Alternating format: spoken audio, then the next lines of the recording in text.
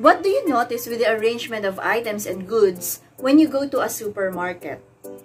You may notice that they are arranged accordingly, right? You may notice that this section is for frozen food, this section is for canned goods, this section is for toiletries, this section is for chips, etc.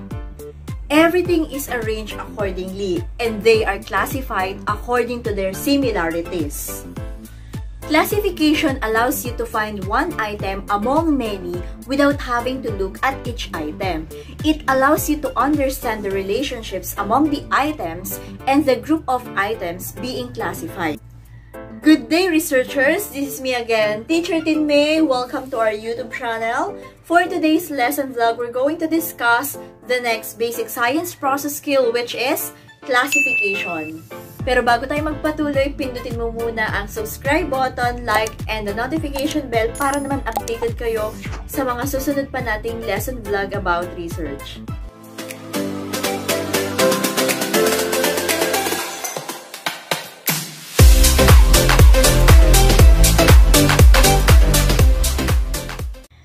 We are now on our week 6, module 6 in research 1, And after going through this lesson vlog, you're expected to classify objects and events according to their observable characteristics. In this lesson vlog, what we're going to discuss is the definition of classification, what are the stages of classification, and what is the difference between comparing and contrasting. Classification is a way of sorting, and when we say sorting, this is a way of creating order or making sense out of a large collection of objects by using our observation skills to notice what things have in common with each other and how they are different from one another. So kapag kasi sinabi nating classification, ito yung paraan kung saan uh, tinitingnan muna natin yung mga bagay na magkakasama and then by using our observation skills, anong sabi? Kailangan nating hanapin kung ano ang magkakatulad sa bagay na ito at ano ang magkakaiba. So, kapag classification, kumbaga parang iginugrupo natin ang mga bagay na ito according sa kanilang pare-parehas na characteristics or pare-parehas na physical appearance or kung ano man ang kanilang pagkakatulad. Yung classification, hindi nyo lang napapansin, pero araw-araw nyo na yung ginagawa sa inyong araw-araw na buhay. Okay, tingnan nyo sa bahay, kapag di ba nagtitiklop kayo ng mga damit. So, paano nyo ba ina-arrange yung mga damit ninyo? Hindi ba minsan ina-arrange natin siya according sa kulay?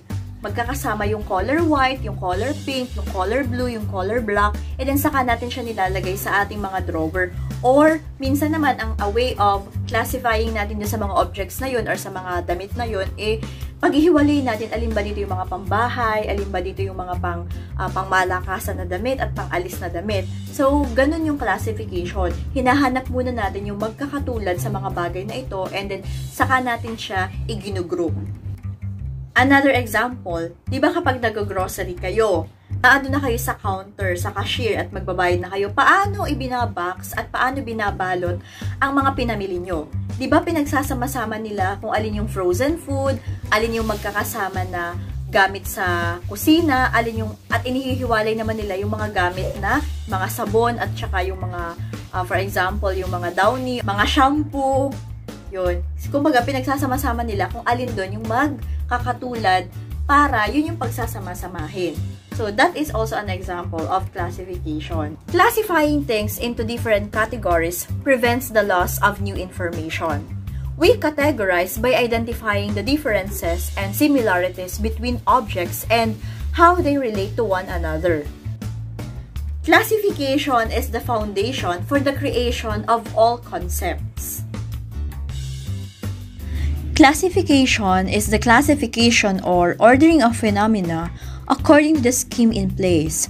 Objects and incidents can be categorized on the basis of observations.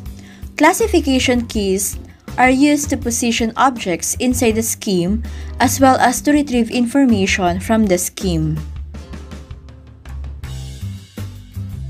Classification allows you to find one item among many without having to look at each item. It also allows you to understand relationships among the items and the groups of items being classified. For example, the school library contains between 500 to 6,000 volumes. If these books are placed on the shelves at random, looking up some information for the next day's biology class might take you the whole day or longer. However, finding the needed information can be done in a relatively short time if books are grouped into categories such as fiction, biography, science, etc. Each book in these categories is then arranged alphabetically or by number assigned to it. There are three stages of classification. Number one is the single stage classification. Number two, we have the multi-stage classification. And number three, we have the serial ordering classification. Single stage classification involves splitting of a group of objects into two or more subsets on the basis of at least one measurable element. So in this single stage classification, uh, okay, objects can be classified into binary categories. When we say binary categories, ibig sabihin pwedeng hanggang dalawa yung classification natin. For example, uh, yung animals, okay, you classify them as vertebrate and invertebrate animals. For example, magnetic and non-magnetic, or for example, plastic or wood. So that is an example of binary categories. But pwede rin naman na more than two categories. For example, yung mga objects, uh, sinort mo sila according to colors. So for example, okay, lahat ng blue, yellow, red, uh, black, white.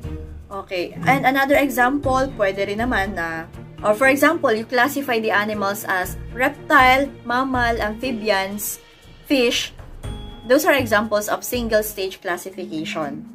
Now, how about the second classification which is the multi-stage classification?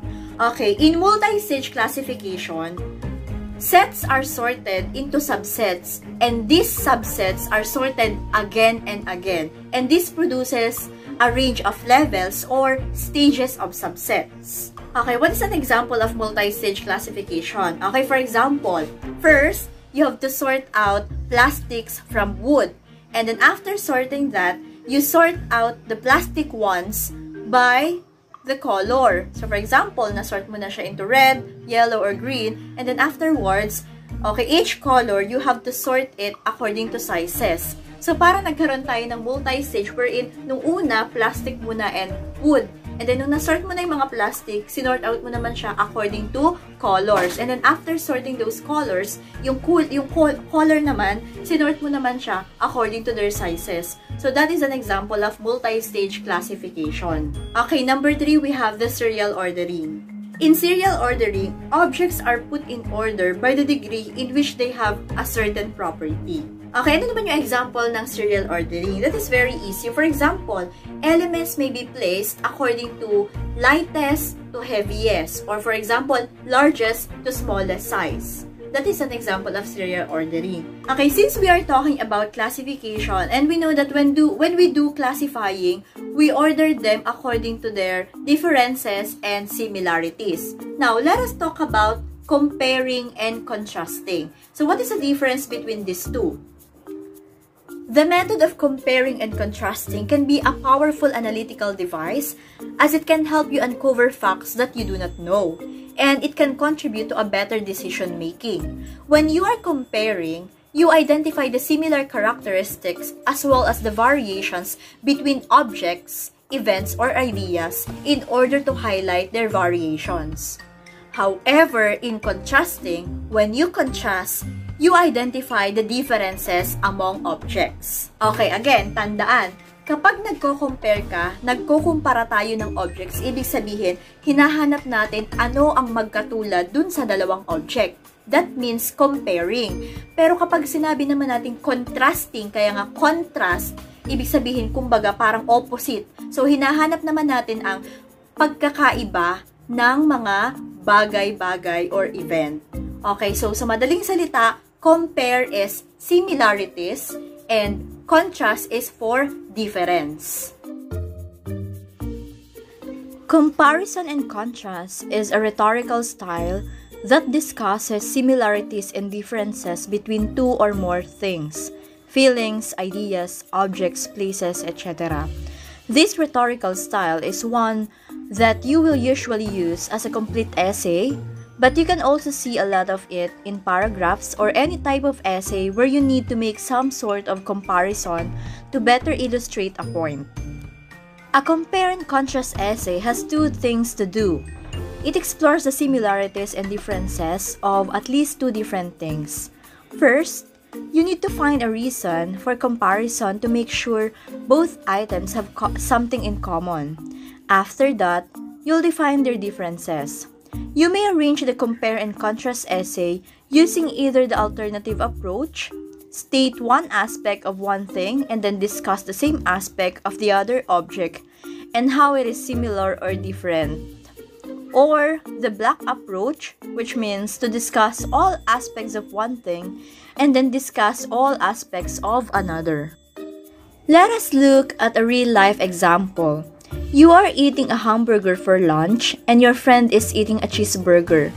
You compare the hamburger and the cheeseburger by noting that each contains around patty of beef, a spread of mayonnaise, ketchup in a piece of bun. You also noted that each patty has been seasoned and cooked in the same way. The cheeseburger, however, contains a slice of cheese, while the hamburger does not. Also, it takes longer prepare than a hamburger. To contrast the cheeseburger and the hamburger, you note that the cheeseburger takes 12 minutes to prepare, while the hamburger takes only 10 minutes. You note further that the cheeseburger cost 18 pesos while hamburger cost 15 pesos. In addition, you find that you prefer the taste of your friend's cheeseburger to the somewhat more bland taste of your hamburger. In fact, it may just be this difference in the taste of the two burgers that helps you decide which to choose next time.